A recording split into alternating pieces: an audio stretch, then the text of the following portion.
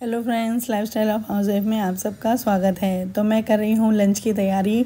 सुबह में टिफ़िन वगैरह हो चुका है। आज मैंने सुबह में हरे प्याज की सब्ज़ी बनाई थी। तो वो लेकर जा चुके हैं हस्बैंड और बेटा सुबह में मैंने बनाया था।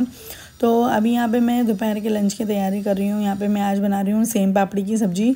तो ये सेम पापड़ी मैंने लेके आई थी ना, बहुत अच्छी थी, एकदम अभी बहुत अच्छी वाली सेम पापड़ी आ रही है।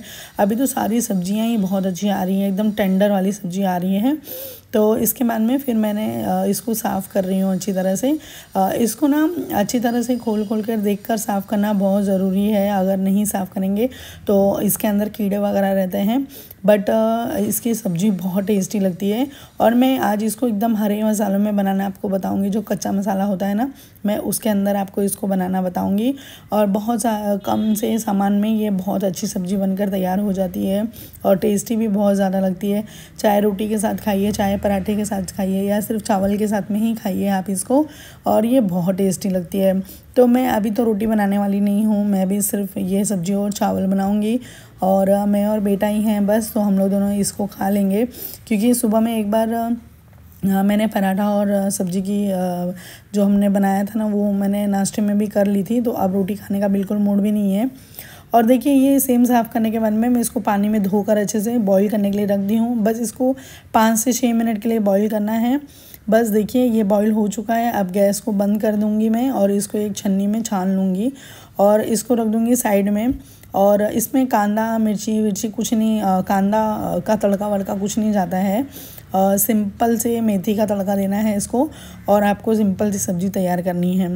तो देखिए, अब मैं इसको इसमें निकाल दे रही हूँ और फिर अभी मैं आपको बताती हूँ कि क्या इसके अंदर हमको मसाले लगेंगे। बिल्कुल एकदम हल्का मसाला लगेगा। तो देखिए, मैंने यहाँ पे पीली वाली जो राई होती है ना, उसको मैंने भिगा दी थी आधा घंटा पहले। सादा पानी में मैंने भिगाया था उसको और मैंने हरा धनिया ली हूँ। थोड़ी सी एक एक जो लहसुन होता वो लिया है, मिर्ची मैंने हरी थोड़ी ज़्यादा ली हूँ, आधा चम्मच जीरा लिया है, ये तीन टमाटर है, बट ये बहुत छोटे छोटे से टमाटर थे, इसको तीन टमाटर मैं चार टुकड़ों में इसको काट लूँगी। और अब देखिए हमारे ये जो मसाले हैं ना, इसको पीस लेंगे और मैं ऊपर से मसाला डालूँगी तो वो भी कुछ ज़्यादा मसाला नहीं है, वो भी आपको दिखाती हूँ मैं, और झटपट से ये सब्ज़ी बनकर तैयार हो जाती है। इसमें मैंने चार आलू भी डाले थे। तो आलू मैंने बॉईल करके लिया था। बॉईल करके मैंने आलू इसमें डाला था। आप भी बॉईल करके डालिएगा। अभी जो नया आलू आ रहा है ना, वो बहुत टेस्टी लगता है खाने के लिए। तो देखिए, मुझसे यहाँ पे क्लिप मिस हो गई।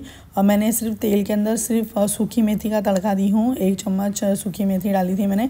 और इसमें हमारी ये बॉईल की हुई सेम पापड़ी मैंने डाल दी हूँ। अब इसको हल्का सा हमें भूनना है। और इसके अंदर बस, देखिए मैंने चार आलू लिए थे ना। इन चार आलूओं को छोटे छोटे टुकड़ों में काट कर मैं इसमें डाल दूँगी।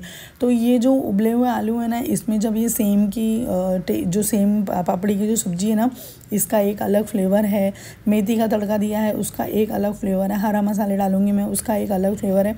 ये सारा फ्लेवरफुल, इतनी अच्छी भाजी बन के तैयार हो जाती है ना ये, कि मैं आपको क्या बताऊँ, बहुत टेस्टी भाजी लगती है ये खाने के लिए। और इसके बाद में अभी बस देखिए भून चुका है। इसमें मैंने हरा मसाला डाल दी हूँ। हरा मसाला डालने के बाद में जो हमने पीस के रखा था, अब मैं इसमें डालूँगी हल्दी, एक चम्मच धनिया का पाउडर, टमाटर, नमक और ये सब मिलाकर इसको मैं मिक्स कर दूँगी, मिक्स करके और इसको ढककर दो मिनट के लिए मैं इसको भूनने दूँगी। और फिर दो मिनट के बाद में हम इसको देखेंगे तो टमाटर भी थोड़ा सा नरम हो चुका होगा। और देखिए, अब दो मिनट के बाद में यहाँ पे टमाटर मेरे नरम हो चुके हैं। अब इनको मैं देखिए कैसे मैश कर रही हूँ ना? हाँ इनको मैं ऐसे ही मैश कर लूँगी। और मैश करने के बाद में इसको फिर से ढक देना है ढक कर फिर से इसको दो मिनट के लिए हमको पकाना है।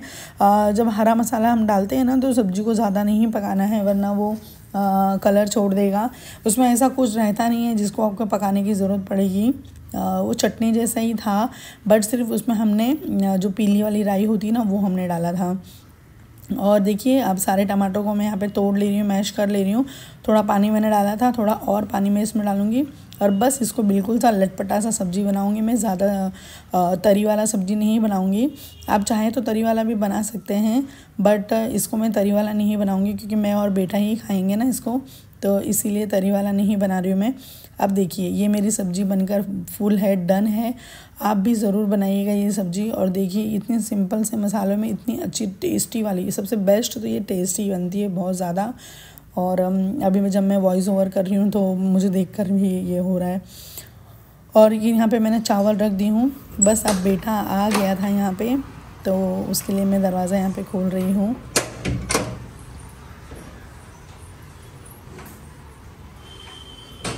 आ गया। तो बस यही था आज का मेरा वीडियो। मिलती हूँ अब आपको मैं अपने नेक्स्ट वीडियो में।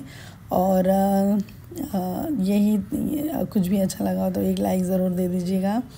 और ये जो सेम की सब्ज़ी है ना, इसको ज़रूर बनाइएगा। चलिए, मिलती हूँ नेक्स्ट वीडियो में। बाय